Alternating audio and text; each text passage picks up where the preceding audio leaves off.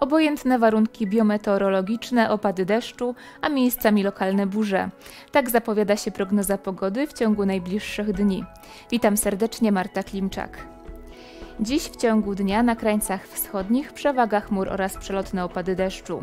Wraz z upływem czasu deszcz popada także na Pomorzu, Kujawach, ziemi lubuskiej, Wielkopolsce i na Dolnym Śląsku. Tam także niewykluczone burze. Najwyższa temperatura na zachodzie około 15 stopni, natomiast najchłodniej zapowiada się na wschodzie, gdzie termometry wskażą około 8-9 stopni. Będzie wiał słaby i umiarkowany wiatr z południa i południowego zachodu. Ciśnienie spadnie i wyniesie 1016 hektopaskali.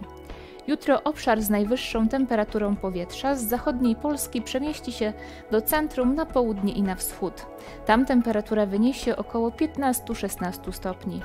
Na zachodzie z biegiem dnia odczujemy coraz chłodniejsze powietrze, które wyniesie około 8-9 stopni. Na początku dnia popada na zachodzie, natomiast po południu od Zatoki Gdańskiej i Warmii przez centrum po Śląsk i Małopolskę. W tych rejonach niewykluczone są również lokalne burze. Na teraz to wszystko, dziękuję za uwagę i do zobaczenia.